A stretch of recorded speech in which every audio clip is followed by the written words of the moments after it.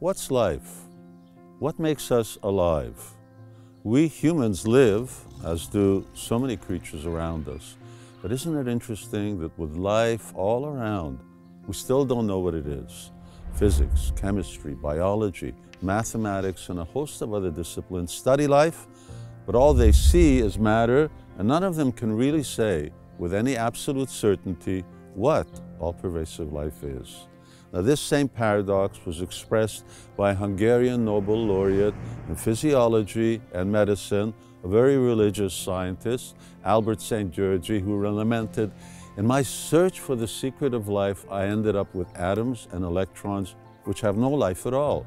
Somewhere along the line, life has run out through my fingers. So in my old age, I'm now retracing my steps. You know, the truth is that scientists, empiricists, will never be able to honestly say what all pervasive life is. The reason is the approach is wrong. If you look for deserts in the ocean, you're never going to find them. Although we see the effect of life, such as birth, growth, reproduction, dwindling, and death, we never see life itself. Now I ask you, can you say what life is? What is it that makes you alive, that makes you tick? Do you know? Well, here's what I've learned what I have learned is that the approach to life has to be different than that of science.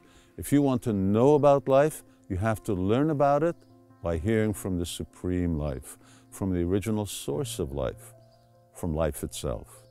Now, you may ask where, how. My answer is learn from the book of life, and that book is called the Bhagavad Gita. Philosophers, yogis, and great saints all agree that that is the book of life spoken by the Supreme Life, Krishna. It explains that life is elusive to sensual perception because it's not matter, it's antimatter. It's transcendental, it's consciousness. But if you want to know more, read the Bhagavad Gita for yourself.